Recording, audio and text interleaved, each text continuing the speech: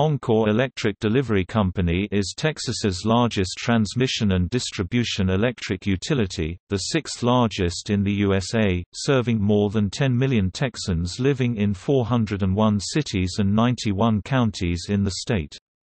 Their service territory includes East, West and North Central Texas, including Dallas, Fort Worth, Midland, Odessa, Killeen, Waco, Wichita Falls, and Tyler and other surrounding cities in Texas.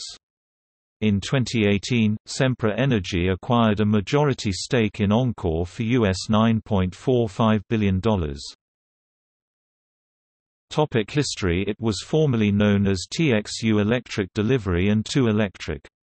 Predecessor companies include Dallas Power and Light DP&L, which served the city of Dallas, Texas Electric Service Company (TESCO), which served areas surrounding Fort Worth and West Texas, and Texas Power and Light (TP&L), which served other areas of northern and east central Texas. Oncor is privately held by a limited number of investors including Energy Future Holdings Corporation (EFH).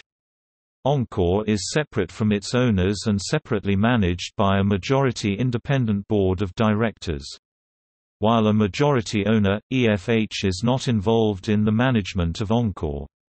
On March 24, 2016, the Texas Public Utility Commission granted the request to convert Oncor into a Real Estate Investment Trust with the reservation that the PUC would consider the treatment of potential tax savings, which could account to $250 million, from the REIT structure in a separate proceeding to be held at a future date.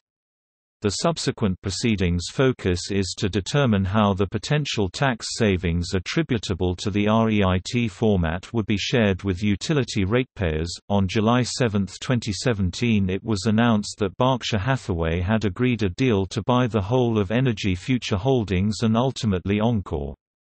This bid was ultimately surpassed by Sempra Energy, which bid $9.45 billion in cash and the assumption of debt on August 21, 2017.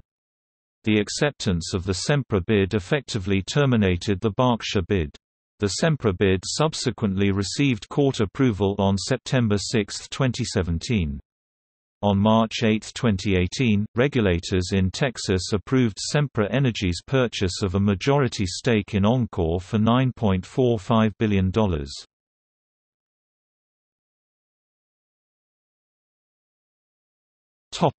Major projects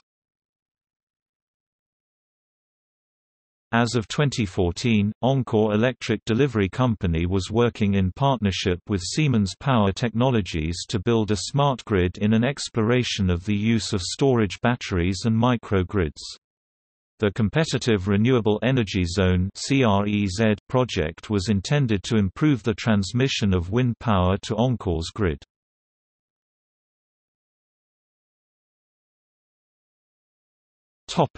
See also List of companies in Dallas. List of United States electric companies